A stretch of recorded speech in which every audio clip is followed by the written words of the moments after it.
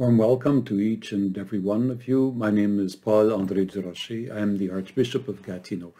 Today is Tuesday of the second week of Advent, and as part of a series, I want to present the readings of the uh, Mass uh, for today and to say a few words about them. The first reading is taken from the book of Isaiah, chapter 40, verses 1 to 11. This uh, beginning of chapter 40 marks, you could say, the beginning of a whole new section in the book of Isaiah. Often specialists speak of a second Isaiah. These, the text we're reading today was uh, probably written 160 years after the end of chapter 39. Uh, what was in chapter 39? In chapter 39, there was a pronouncement by the prophet Isaiah to King Hezekiah that the day would come when Babylon would become a powerful enemy, it would conquer Israel and take away its people and its riches. He's prophesying the exile. And after uh, chapter 39, there's a we could say a silence. There, there's a pause of 160 years until we hear again uh, from a prophet who is also writing under the name of Isaiah, obviously not the same man, but I guess maintains some link, some familiarity, part of a school, you could say, of the thinking of the prophet Isaiah. And here he's writing towards the end of the exile when the kingdom of Babylon is really going through very hard times and there's a new empire that is arising, the Persian Empire under King Cyrus. And this becomes an occasion for the prophet to speak about hope and chapter 40 is very different in tone from the first 40 chapters. The, the first 39 chapters of Isaiah speak very much of warning, of God punishing the people because of the people's infidelity. There are here and there um, uh, you could say intimations of some hope, but overall the message is, is quite harsh, quite hard. It's, he's calling the people to conversion, to repentance. But here in chapter 40, after the people have been in exile for all these years, uh, probably 50, 60, 70 years of exile, here he gets up, and what are the words that begin chapter 40? Comfort, O comfort my people, says your God. Speak tenderly to Jerusalem. Cry to her that she has served her term, that her penalty is paid, that she has received from the Lord's hand double for all her sins. In, in other words, the sentence is finished. Now you are going to be freed. You will rediscover freedom. Those who know Handel's Messiah know that these words are the first words in that great oratorio, and they're, they're set to such beautiful music. It really speaks of the comforting voice of God. So in this second Isaiah, there, there's in these first few verses, we can hear kind of the vocation call. In, in the first Isaiah, in chapter 6 of Isaiah, the first prophet to be called Isaiah, there was a vocation call. Isaiah experienced God's presence in the temple. And that experience was one of, uh, for him, of terror and of fear because he felt he was a sinful man and he's part of a sinful people, the text says. And an angel in this vision takes a, a coal and burns his lips with it and says, now you are purified. Uh, and God says, uh, whom shall I send to my people? And Isaiah says, I'll go. And what shall I say? And God says, prophesy doom, prophesy destruction, prophesy that there is no hope for this people because they have turned away from the covenant. It's a, it's a message of doom. But here at the beginning of chapter 40, there's, there's also a kind of a convert, um, vocation narrative and we, we hear this uh, about halfway through today's text. A voice cry, says, cry out, you know, a voice, God's voice, saying to the prophet, cry out. And I said, what shall I cry? And then the it's interesting. It's one way of reading it. There are various ways of reading it, but I like this way of reading it.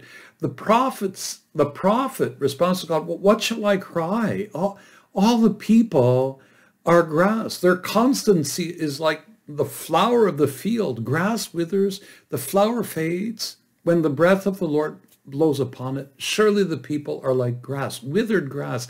He, he's kind of saying, what shall I cry to the people? This people has lost all hope, has lost all liveliness. This people is dead, in a sense, is what the prophet is saying.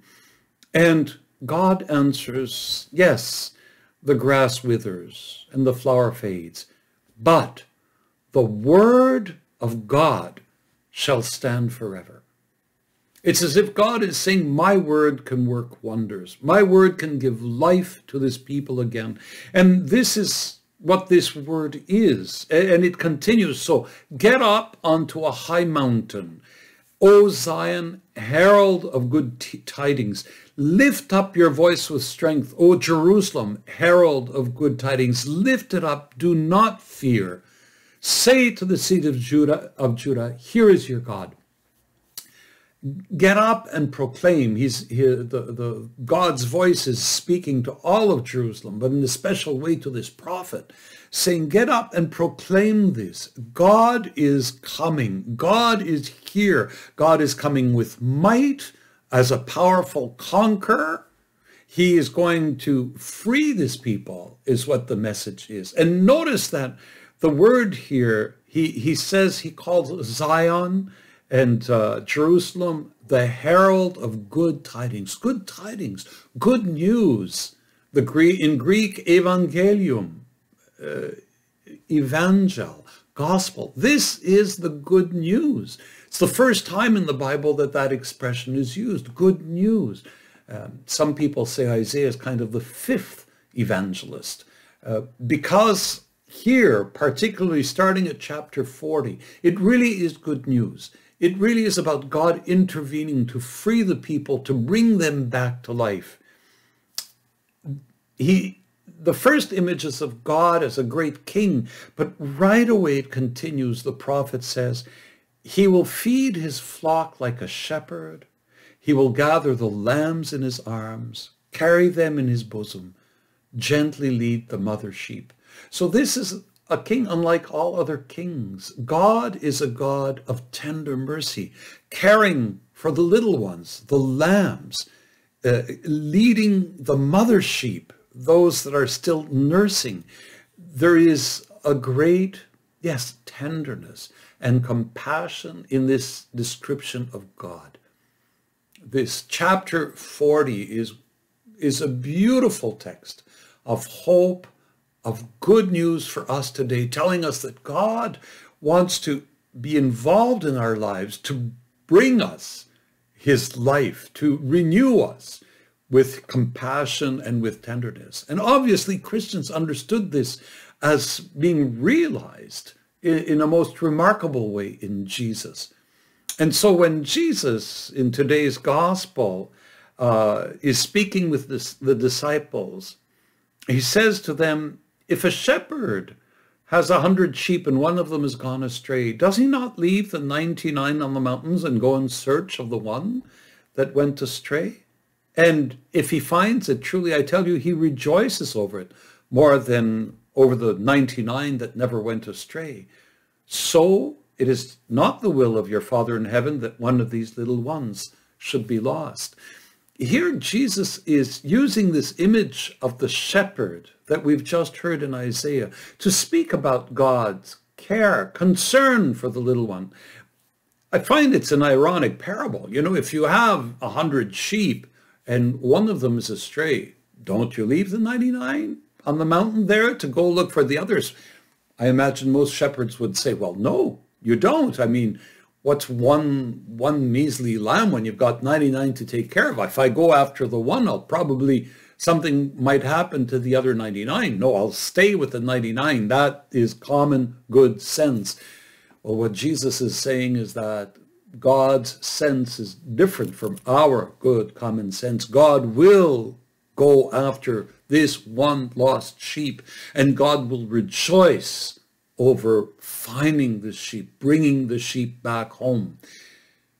Isaiah, Isaiah's good news was about returning home. this good news of Jesus is that God wants to bring us back home through his son, Jesus Christ. Today, truly, is a word of good news for us. Let us receive it. Let us take it to heart. And in turn, let us become bearers of good news for the people around us. God bless.